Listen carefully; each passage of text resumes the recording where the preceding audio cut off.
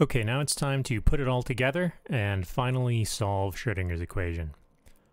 So the first thing you need is you need to um, generate uh, your x points that you want to plot your function over. Got them all inside here. So I called mine sum and x. Uh, I believe we called it make x in the video. These are the contents of that sub VI. Go back and watch the uh, the first video if you want a refresher. We obviously we have some endpoints here. We need some points. I'm going to right click and create a control for points.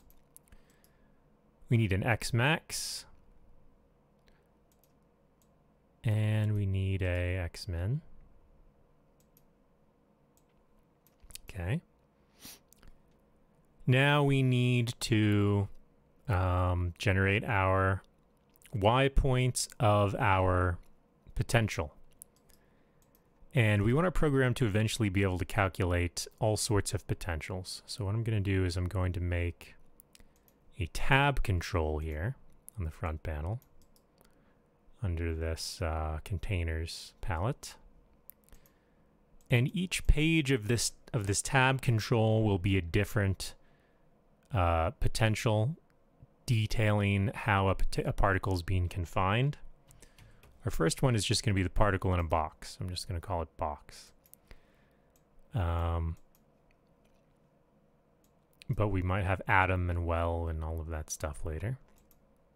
And the way we're going to use this is just call this tab uh, the potential type. Don't think we need to display it on the front panel, so I'll uncheck the label. Can make a case structure,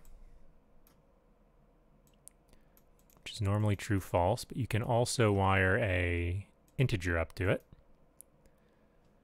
um, which corresponds to the different values of our tabs here.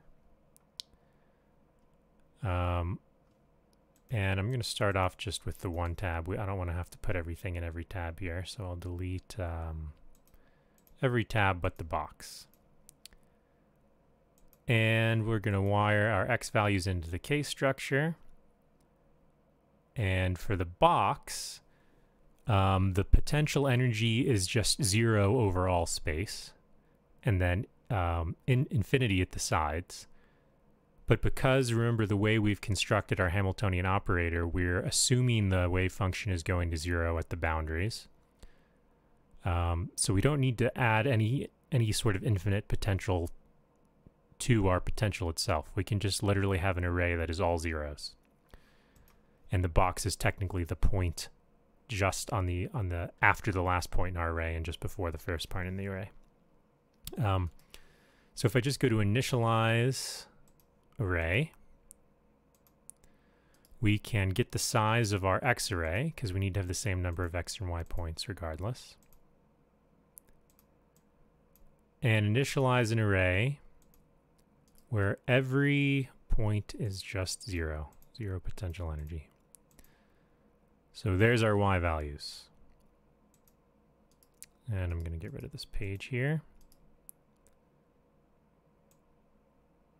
Delete this case. There we go. Uh, it, will give us an error if we don't have some value wired to these inputs, to the outputs for every single case. So just start it with one case.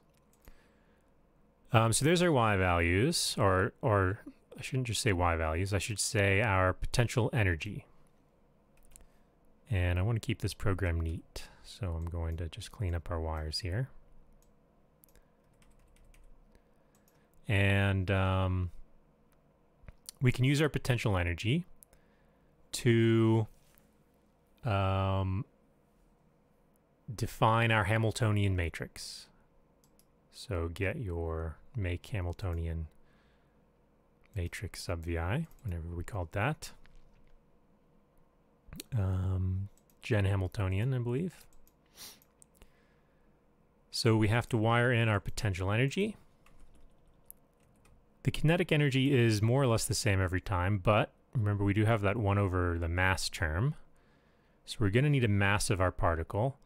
Um, I'm going to make a numeric control for that, and I'll put it inside our box tab because for other cases we might have a different definition of mass. So um, I'll put that inside the case. And the units are going to be an AMU because of how Planck's constant is defined in this sub VI. Um, this is what that sub VI looks like. Um, pretty simple. And um, I'm going to wire the mass up to the mass input. You see we also need the dx value to calculate that second order derivative, which is an output on our make x points. So I can wire this all the way across as well.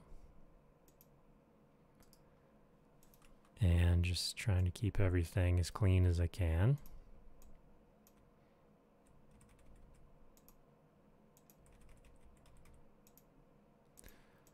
Um, okay, so now we have our Hamiltonian operator as well as our initial wave function guess, which is just all ones. And we can do our power iteration to solve inverse power iteration to solve for the ground state wave function. So to do that, I'm going to wire all of our values into the power iteration loop here. Um, I'm going to create a control for the um, number of iterations. Remember, this will converge to the right solution. Uh, we've been putting in like a thousand for it, which is probably too many. We can adjust that later. But we'll make that a user input in case a particular problem is taking longer to con converge than others. Now we want our Thomas algorithm because we need to solve the linear equations here. Um, here we go. Here is what that looks like.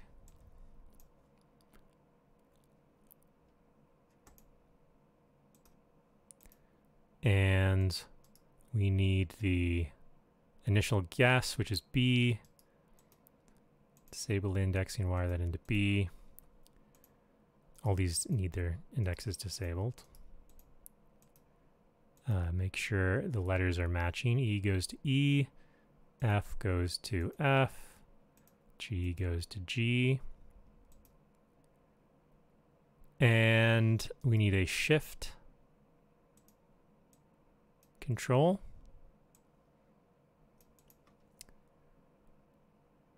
And actually the um, the X here, this is, we're going to, we need to iterate on this wave function guess. So this is going to need to be a shift register. And then the only other step we need to do in here is to remember to normalize our wave function so it doesn't get out of hand. So that involves dividing the wave function by this, uh, the root sum of the squares. Oops. Square sum root to get the magnitude, to make sure the magnitude is equal to 1.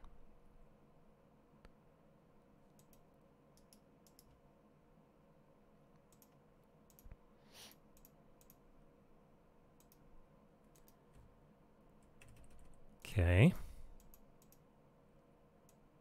And now we should already have um,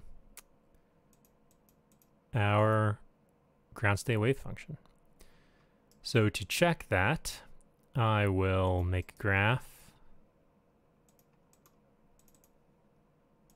And we can bundle our x values from way over here.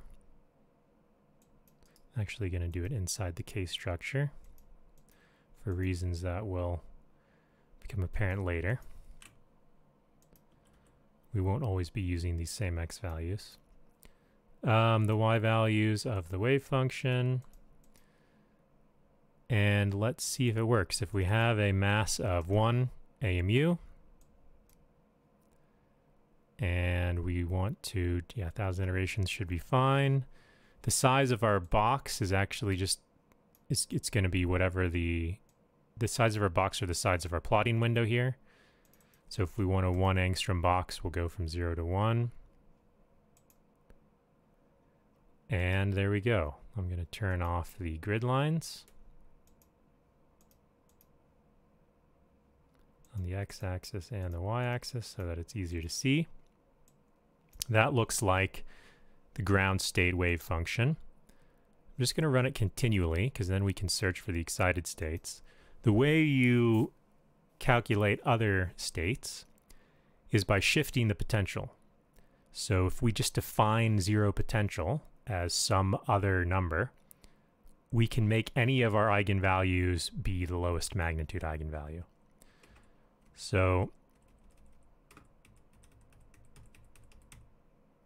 let's see, that was that was nothing. There we go.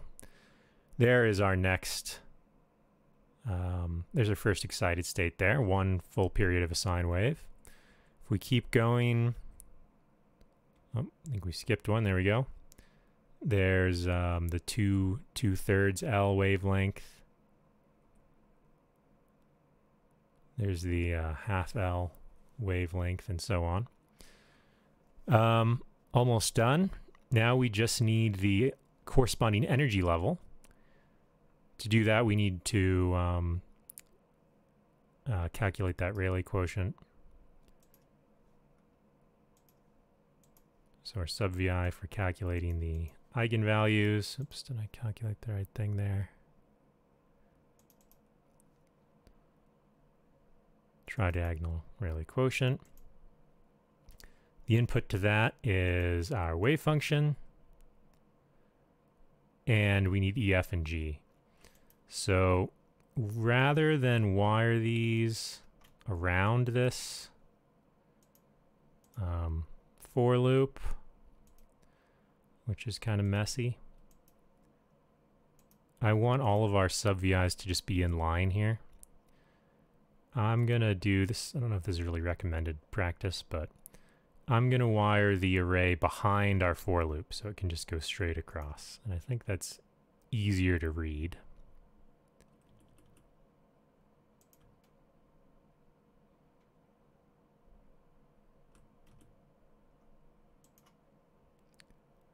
And we just have our one um, output there, which is the eigenvalue. So these should be, um,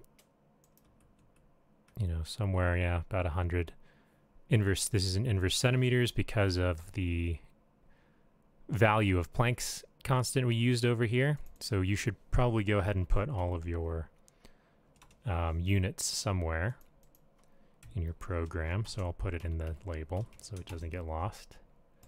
Inverse centimeters for the eigenvalue. This is position in um, angstroms. And amplitude is fine. That's unitless. Um, so um, there you go. That's how you solve Schrodinger's equation using uh, numerical methods in LabVIEW.